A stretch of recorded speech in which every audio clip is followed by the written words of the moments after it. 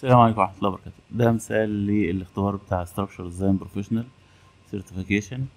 فبيقول which type of the parameter is specified to a single project file but it's not assigned to category. إيه نوع ال parameter اللي بيبقى موجود لمشروع واحد بس؟ يبقى إحنا هنستثني ال shared parameter تمام؟ وما بيكونش assigned to category معينة. تمام؟ فبرضو إحنا كده استثنينا shared parameter وال family برضو لانها ممكن تتحط في كذا مشروع. ال project parameter ده بيبقى ال category. ال project parameter لما تيجي هنا في قائمة Manage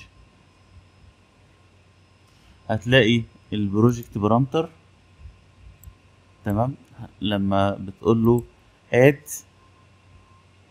بتلاقي إن هو ينفع يبقى موجود ل category معينة زي ال views مثلا أو sheets أو ال walls ف هيتبقى لنا ال global parameter. ال global parameter عبارة عن إيه؟ إن أنا لو راسم حيطة وباب فممكن يبقى فيه global parameter بينهم. يعني خلينا أقول له wall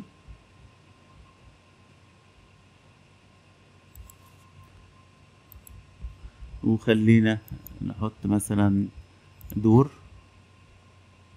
أهو. ممكن نيجي هنا.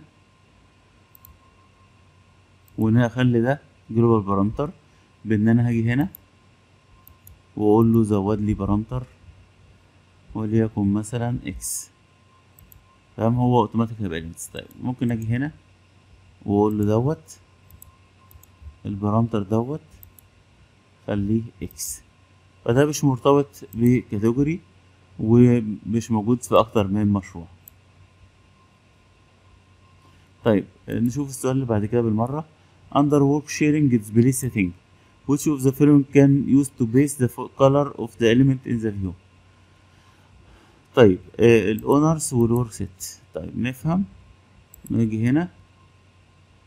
لو أنا جيت هنا وقلت له أنا عايز ألون بال owner فبيبدأ يشوف ال owner طب أنا عايز أخليها model update لو في update أو checkout status فأنا عندي ال owner وال workset هما وتقدر تتحكم في الألوان بإن أنت لو جيت هنا ممكن تقول له checkout status أو تقول له workset فتبدأ تختار الألوان.